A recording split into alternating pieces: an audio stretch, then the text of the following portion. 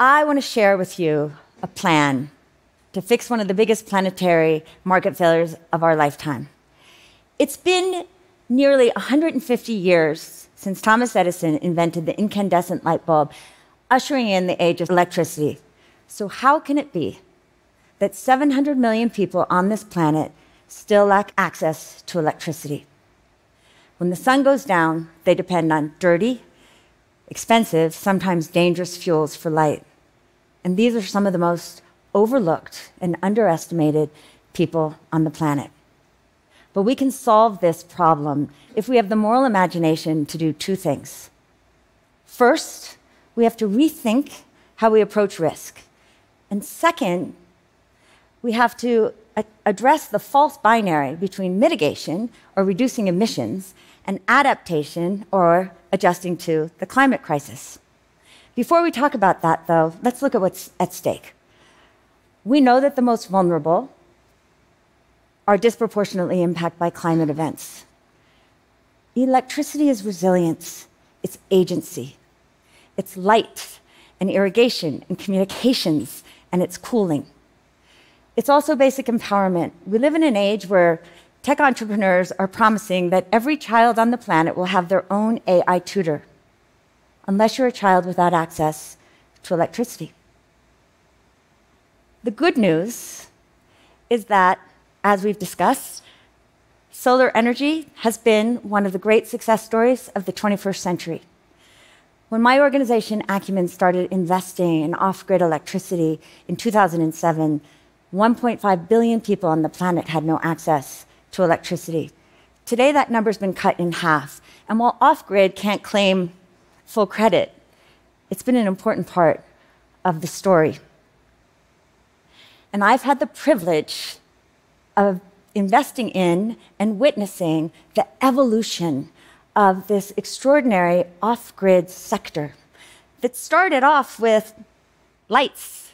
And then we saw home systems with radios and cell phone chargers. And then emerged the adjacent possible solar televisions and cook stoves and solar irrigation and refrigeration and e-mobility. And today you can see thousands of electric motorbikes powering down the streets of Kenya and Rwanda.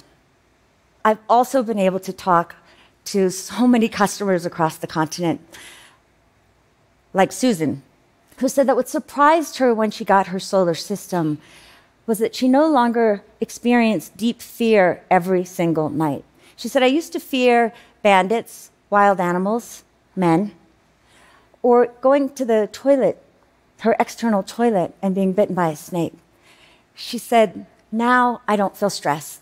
My children and I have more connection, and indeed, they'd finished watching a course on their solar television to learn sign language in Kiswahili so that for the first time in their lives, they were able to communicate with their deaf cousins. Energy is independence, and it has great economic impact. The average family reduces energy spending by more than 50%, and this is a sector that has created more than 370,000 good jobs. We as a world are on track to reach another 300 million people by the end of the decade. That still leaves hundreds of millions living in the dark. These are the hardest to reach. In places like Burundi, with an 11% electrification rate, Malawi, 16, Chad, 12. And those aren't just statistics, those are human beings. And yet, too often, we dismiss them as too poor, too risky, too hard. So let me say this clearly this is about our shared human dignity. If we believe that all human beings deserve dignity, and we understand that the impact of climate will disproportionately impact the most vulnerable amongst us, then these are precisely the people on whom we need to focus. Because electricity isn't just about light. It's about communication during floods, irrigation during droughts. It's about cooling medicines during heat waves and pandemics. It's about hospitals and schools, businesses, so that isolated communities, already fragile, can build resilience in an increasingly volatile climate.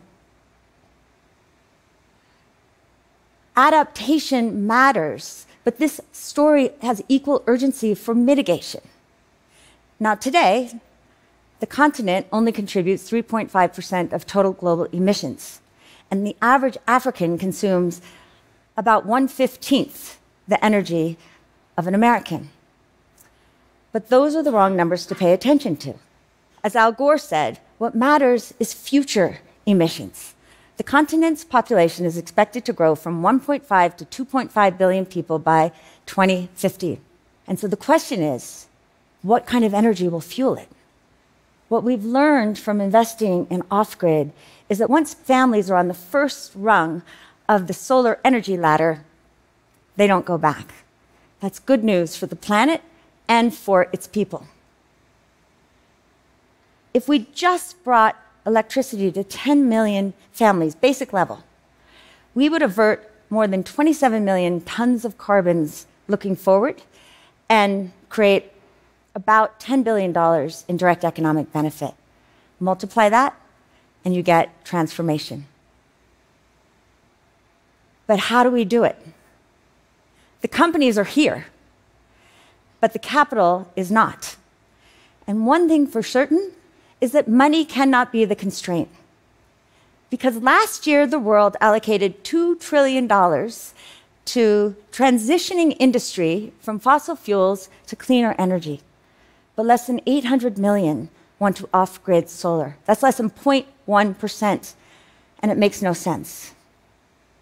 Because climate finance isn't scarce, it's scared. And maybe at first glance, you can understand it. Customers make a few dollars a day. Macroeconomic headwinds, like inflation, depreciation, have pummeled markets. Inequality, lack of jobs. In some places, uncertain leadership. Okay. But if we focus only on narratives that talk about the problem, we miss the much bigger narrative of the opportunity. Electricity is foundational. And we can solve this problem, but we need the right kind of capital to open up new energy markets. And a lot of people have been thinking for a long time about how to do that in ways that are more important today in a post aid era. My organization's been building on our investing work for many years to create a, an initiative called the Hardest to Reach. It's essentially a multi layered capital stack that's a blend of philanthropy, impact investing, funds from development finance institutions, and a commercial bank. It starts with $60 million in philanthropy so that we can take early stage patient capital investments in those companies operating in the most challenging climates. Philanthropy let you go fast. So already we've invested $12 million in eight companies in Sierra Leone, Benin, Malawi, the DRC, and most recently, Somalia. Side by side is a debt facility that is Impact Align. It's anchored with funding from the Green Climate Fund and others. And again, that allows us to bring in more institutional capital above, including Shinhan, the largest commercial bank in Korea.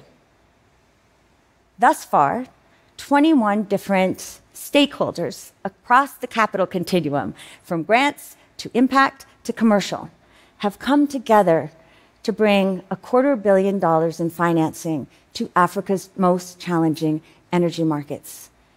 Now, making this happen hasn't been easy. It has relied on the leadership, the courage, and the competence of a whole lot of people, including in big institutions. But that is exactly the kind of moral imagination that we need to rethink the way we approach investing. Because it is just not okay to let financial risk have the final word.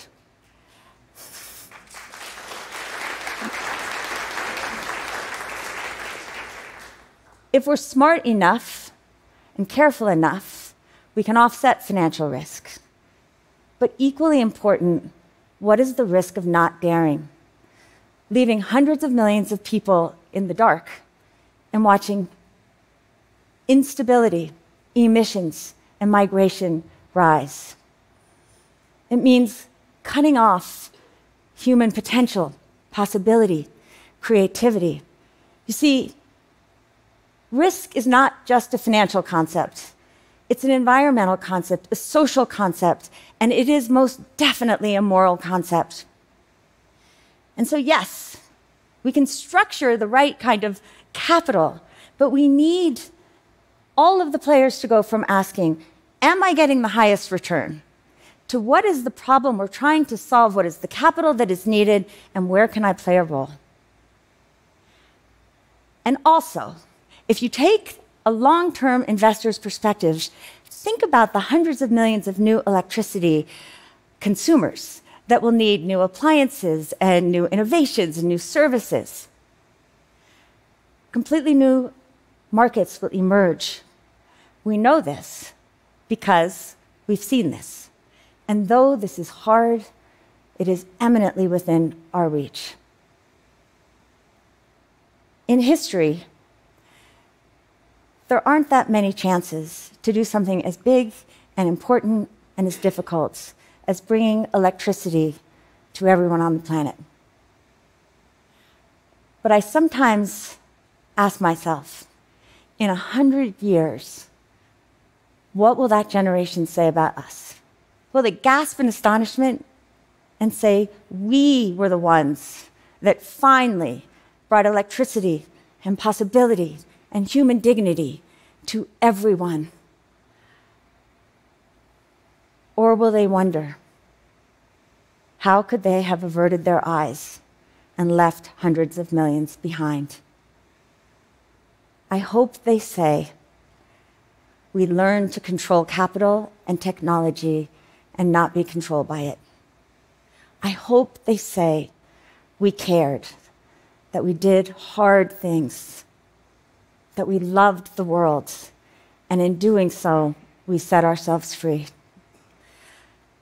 The poet Hafiz wrote, Even after all these years, the sun never says to the earth, You owe me. Look what happens with a love like that.